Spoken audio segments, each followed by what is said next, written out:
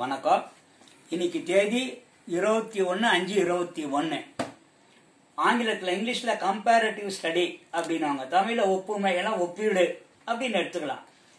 DM சவுந்தரராஜனையும் மஹ்மது Rafi நம்ம தெலுங்கு பாடலில் பிரபலமான பாடகல பாடல் பாடகராகிய கண்டசாலா.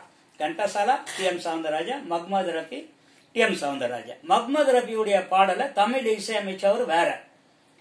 கண்டசாலா பாடியிருக்க பாடல் அதே மெட்டுக்கு.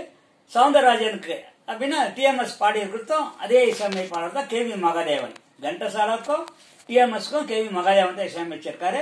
மஹ்ம மஹ்மது ரஃபி பாடின பாடலுக்கு தமிழில் வேற இசையமைப்பாளர்.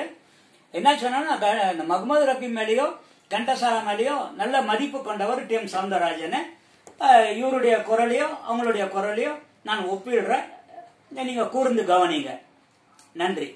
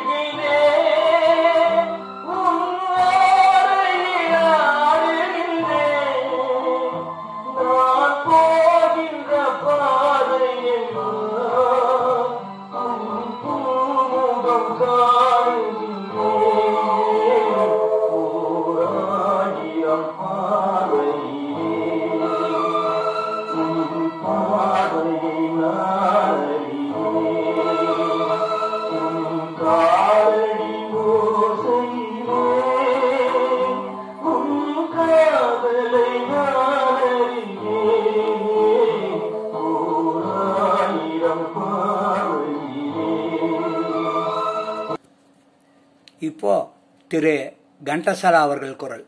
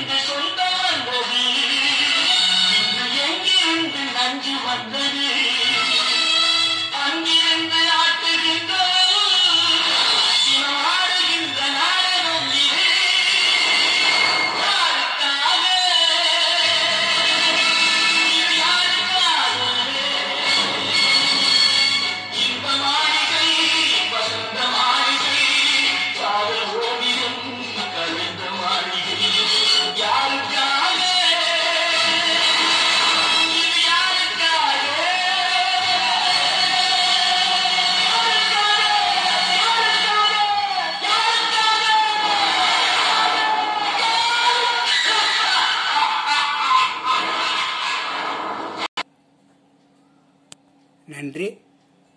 வணக்கம்.